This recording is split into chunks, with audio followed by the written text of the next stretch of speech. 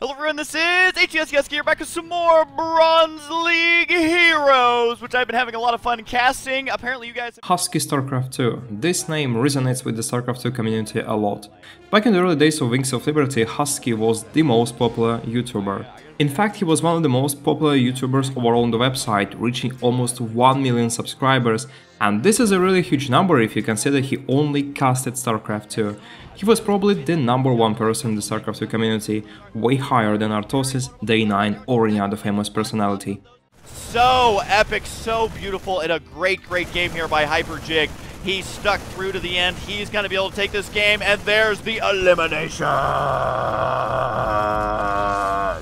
Finest Fine has been eliminated. Hyperjig is your winner with some crazy awesome micro. Mike Lamond first started his casting career in Oregon, which was his home state. A great hyper intonation and voice alongside deep game analysis made him one of the best content creators on StarCraft 2. Husky wasn't just casting pro players matches, he was also doing special videos like Bronze League Heroes and many other different stuff, basically becoming the pioneer of SC2 content. Much akin to what Harstem or Lowko do now, Husky was also trying to get as many people into StarCraft 2 as he could. His explanations were always simple, yet very entertaining, and this way he was trying to captivate the attention of people who didn't even know about the game, and as you might guess, he was very successful based on his subscribers count. His channel kept growing rapidly from 2010 till 2015, and at that point Husky should have already been a rather rich person, and StarCraft 2 was still diverse and interesting. People were expecting new expansions soon, and Husky's channel would also gain 1 million subs in a couple of months, which would be the record for any RTS YouTuber. Mike also loved himself longer breaks, and the upload schedule changed a bit to free up some time for himself, and it seemed like a dream career, but suddenly, in 2015, Husky just disappeared. Kill this gateway, and can he do it though? White Rod needs to keep these zealots in place. Here comes the run by! Oh, he blocks it off just in time! Oh my god, able to block that off. The cannon is gonna finish. This attack is not going to work. This is absolutely crazy right now. GG! Oh! He left no explanation, neither a video nor a text message. He was just gone. His huge fanbase became really worried. Did something bad happen to Husky? Is he on vacation? Was there like a real reason for him to suddenly become inactive? And then the long period of silence begins. People were waiting for almost 4 years to hear something from him. What they saw next shocked them. This was the Husky they knew, but I don't think that was quite the, the correct word there.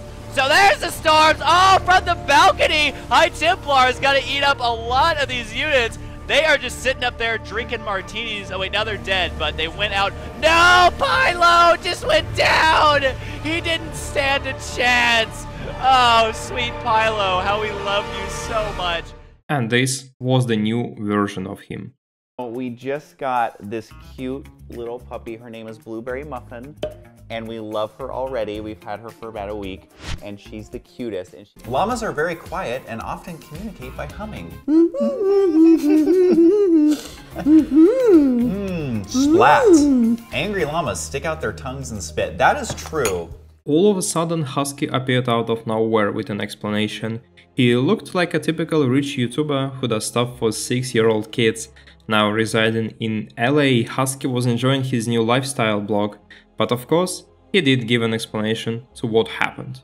For those of you who don't know, I used to have a gaming channel where I made thousands of videos and I used to travel all over the country live casting esports events for companies such as Major League Gaming and a bunch of others. I was kind of the hype guy, and a lot of those events would span over several days between two and four, and I would cast probably eight to 12 hours each day for those. So after doing that for several years, one thing that started to catch up with me is I had no official vocal training and my vocal cords actually started to get very damaged. And it got so bad that it was to the point where I couldn't finish a single video without having to stop and completely try and redo it because my voice would start to hurt. It would go out for multiple days at a time and it was just completely unsustainable for me. And I was very concerned about this. I didn't know what was happening, so I checked in with the specialist and they were basically saying if I continue to do the workload that I was doing, I would permanently damage my vocal cords, it would completely change my voice, and if it continued to get even worse, it'd be painful just to talk. So long story short, at that point, I took a step back for medical reasons, and I started to give myself time to heal. But at that time, I didn't realize how long it would take to kind of get back to normal, so I started focusing my time on helping Rosanna with her channel. We did things like cookbooks, we did a few TV specials,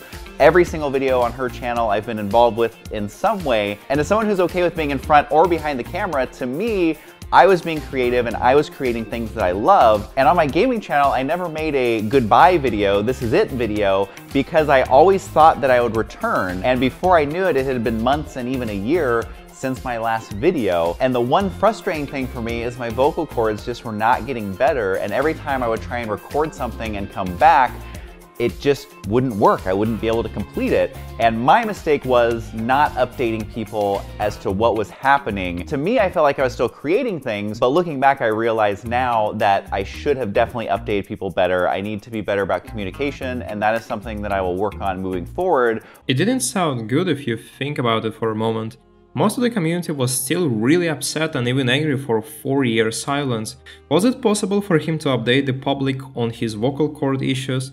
It seems like it was a very easy and obvious way to say goodbye or even take a long break from the game, but then his explanation gets even more weird. Why did I delete my gaming channel? Really, it's just part of my creative process. It's how I've lived my life for as long as I can remember. As I move on to the next phases of my life, I tend to just really focus on that. I create something new, I love it, and then I rebuild it as something else. It really is just who I am and how I've always been. I really like to live in the moment and enjoy memories as they're happening. And I totally understand that not everyone will understand that. Not everyone will be happy about that but it's just how I've always been. This was the part that really offended the community the most. It was quite hard to believe for many viewers, and the new Husky also seemed too fake for many people out there. Was it the real reason why? Husky then elaborated that he had also been working with his girlfriend and actually became her manager. The channel is, by the way, 10 times more successful than Husky's was. And this led to two other theories that the community brought up. The first is, old Husky's videos could tarnish the reputation of a new big brand they were creating with his girlfriend. The second theory, Husky just got tired of StarCraft 2 and focused on the project that just brings way more money. Simple as that. Hello everyone, this is HESKSK here. Welcome back to my channel. Don't forget to subscribe and ring the bell to receive notifications every time I post a new video. Now, I'm getting better at saying that. Even though Husky returned and tried to reinvent himself, it felt like this. Look how they mess with my boy. Another quote is, it feels like watching you die again and again.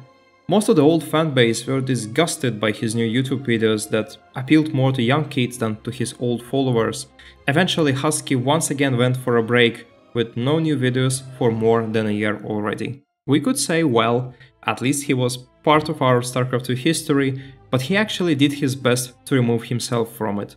We don't have most of his content, but there are still some saved moments here and there, of once the best caster StarCraft 2 had. And even though he doesn't deserve hate for what he did, because it's his life, his choice, and his channel, and he didn't really owe anything to anyone, it was still really painful as if he showed the middle finger to the whole community, actually to a million of his viewers, and a million invested people is a lot of people. But let's at least hope he does well and now he's happy with what he chose. That's it for today guys, if you enjoyed this little story don't forget to subscribe for more. Write your opinion on Husky in the comments. Have a good day, good luck and have fun.